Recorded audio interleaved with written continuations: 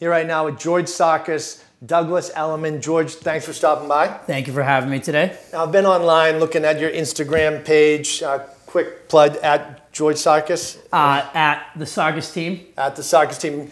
You got a lot of athletes going on, selling Bruins houses, Patriots, uh, Celtics. Yep. What's going on, bud? Just the power of relationships, man. It's to the point where I've been, a, I've came across a lot of these athletes out at night having dinner, met them through some friends, been introduced to them, and just developed relationships with them. Kind of not been too aggressive with them, and it's it's worked out. Keeping the relationship going, explaining to them what I do in the real estate market, and how I've been able to buy property for myself, and how it's excelled for me and benefited me a lot, and they've trusted me. I think you're actually a real interesting story. You bought real estate at a very young age and have Correct. invested for a long time. Yeah, so it's to the point. A lot of these athletes will come, they'll get traded to a team like the Celtics or the Bruins, and they're young. They don't, they don't really know. They don't have that much.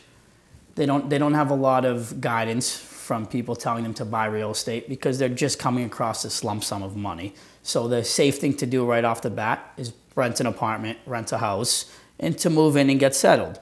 However, they're throwing a lot of money out the window in my eyes.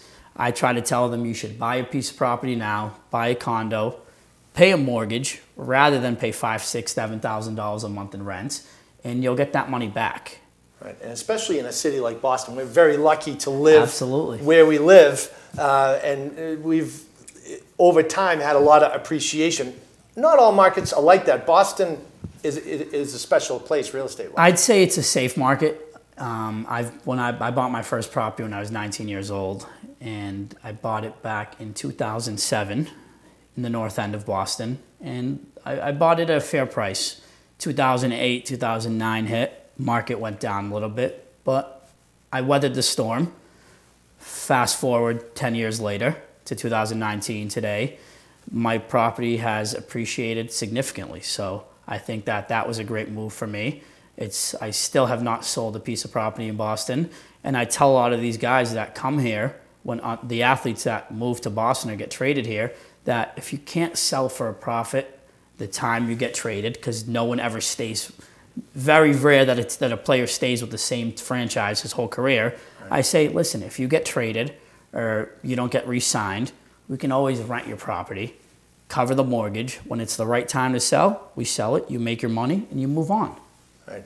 And even keeping it as an investment property is a great option as well. I'm sure. For sure. A lot of these guys are thinking short term and just their spot, but post career, wouldn't be nice to have a little real estate portfolio. 100%. You don't play professional sports your whole life. So, a great example is one of my best friends, Kelly Olynyk, former Boston Celtic player, now signed with the Miami Heat. Kelly bought his property from me um, his second year in the league, and he bought a property in Charlestown in the Navy Yard, Constellation Wharf. He paid about 1.3 million for it, and we have it listed right now at 1.599. So he had a he had it rented for the two years before, where he was getting great rental income, covering his expenses plus some, and now he wants to sell it to potentially buy something in Miami. Now, uh, getting back to the agent side, you've had a lot of success. Haven't been selling real estate for that long. For the agent that's just getting going, uh, what would be your advice to them in regards to getting their real estate career off the ground? So you want me to give out all my secrets, is what you're saying. Yeah. so what I what I would say is to just keep grinding. I mean, no agent does it the right way. Everyone has their own way of doing things, and if you take the top 10 brokers in the country, they all do it differently. So I would just say be consistent with what you're doing. If one thing isn't working, try something else and just follow up. I mean, the more people you know, the more people you meet, the more persistence you the more persistency you have, the better you're going to be in any kind of business, in any sales pitch. Before I let you go, where do you see the Boston market going through 2019? I think we're I think we're going up. I mean, there's there's no more land. We our city's not very big, and they're going up right now. So you, every every time you look at the city skyline, you see something else popping up.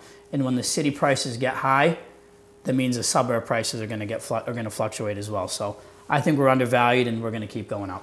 Love the prediction. And if you'd like to connect with George and his team over at Douglas Elliman, you can check out his website, thesarkisteambos.com. And remember to follow us below, and we have more tips just like this right here on boston.com.